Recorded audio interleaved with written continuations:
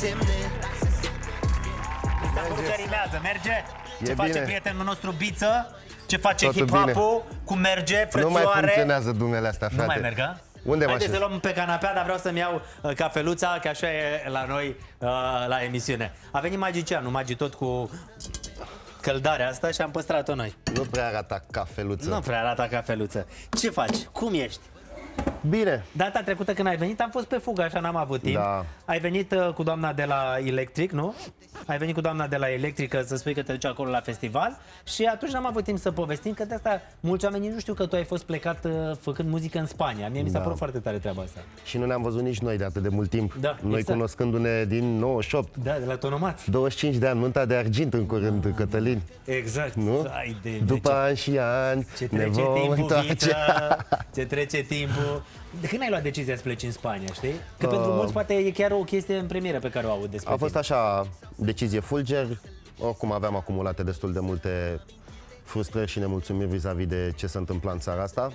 Însă partea bună e că în momentul în care m-am întors chiar uh, am găsit uh, România mai bine decât o lăsasem. Am avut o perioadă de vreo 3, aproape 4 ani în care n-am mai pus piciorul în țară și am avut o surpriză foarte plăcută când m-am întors. că ești Nu unul e dintre- lapte și miere, dar e mai bine decât... uh, Știi că ești unul dintre puținii oameni care stau în străinătate și apoi când se întorc acasă zic lucrul ăsta. Că de obicei oamenii spun că nu găsesc bine. Găsesc aceleași drumuri cu grop, aceeași autostradă lipsă între București și Brașov uh, și o grămadă de alte nemulțumiri. Depinde cât de mult vrei să o ții pe a ta. Pentru că e clar că și noi ne ducem într-o direcție din ce în ce mai bună, după părerea mea. Cu pași mai de melc, doi înainte, unul înapoi, cum era voltaj, Da, da. dansul ăla sau whatever ce melodie avea, dar e un pic mai bine decât când am plecat. Și tu ai plecat cum? Te-ai zis, bă, gata, plec?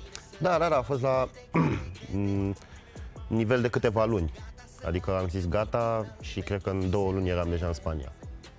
Și te- Știi, uite, oamenii dau te- telespectatorii mesaj ca să vezi Fratele tău, Cristi, a fost coleg de trupă cu biță?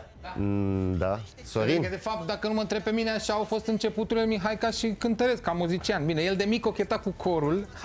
Da.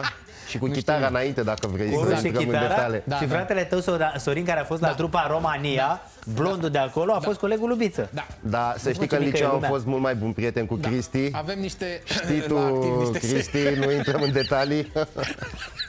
Bun, a, să da, ni- niște băiețeli de ale lor, cine știe. Da, spune asta, deci ai luat decizia și ai zis, bă, vreau să plec, dar de ce ai ales Spania? Păi, uh, m, la bază a fost uh, criteriul de climă și în Europa, ca să fiu cât de cât aproape de ai mei, de familie, de prieteni, ai trei variante.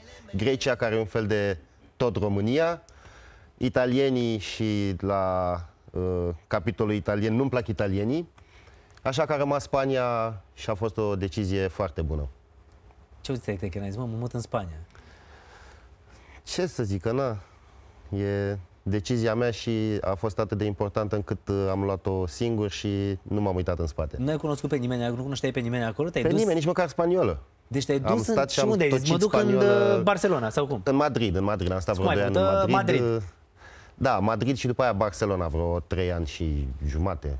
La, la Barcelona deja a fost mai ușor că uh, la câteva luni după ce m-am mutat în Barcelona s-a mutat și tata Vlad Da, de la tataie, Mafia de la Bigi și Mafia. da, tataie. Și a fost o gură de aer proaspăt, îți dai seama, am stat și lucram 3, 4, 5 zile pe săptămână împreună. Eu, mie asta nu vine să cred, adică te duci undeva unde nu cunoști pe nimeni, zici, bă, vreau să fac muzică, îmi fac un studio și începi ușor, ușor să te integrezi în tot ce se întâmplă acolo. Mă, la Madrid n-a fost muzică, adică un an și ceva am stat foarte retras, nu prea am mai lucrat muzică, chiar mă gândeam să mă las, am avut niște discuții așa cu mine, Da? să văd dacă îmi văd viitorul în muzică și în momentul în care n-am mai putut fără muzică, mi-a zis clar că viitorul meu e în muzică, da, și mi-am făcut acolo un studio în Madrid, după aia am avut studioul ăsta m, a- al lui Vlad, de fapt, unde lucram, a fost bine.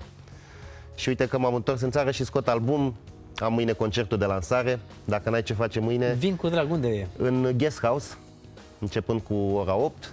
Mâine te aștept acolo, o să fie o grămadă de oameni din hip-hop, dar să nu vii cu schemele alea de mai devreme. Nu cu merg, a? frate. Mă dau mai afară.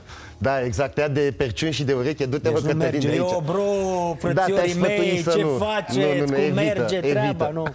Nu merge. Dar o să fie o grămadă de lume acolo, adică alături de mine pe scenă o să fie Ombladon, Fracada Disc, băieții de la Bedembu și Party, Samurai Opening Act, Cagula, Funk B, Bacovia, Adică și ăștia mai tineri. Cherry, de, de, de fiecare dată mi târșă să nu uit pe cineva ca să Da, nu da. da, pe bă, dar de mine de ce n-ai zis și... Eu știi ce, mă bucur foarte tare că te-ai întors în uh, lumea asta, pentru că ești un tip care ai și un timbru special și un mesaj. Măcar anume, știi? atâta, măcar nu, timbru. Nu, nu e vorba de chestia asta. Clar când dai la hip-hop, știi, te diferențiezi. Bă, e timbru, e biță, știi? Adică recunoști din o mie da. de... Suntem doi râiți mai cunoscuți în rap, Chedi și cu mine, deci...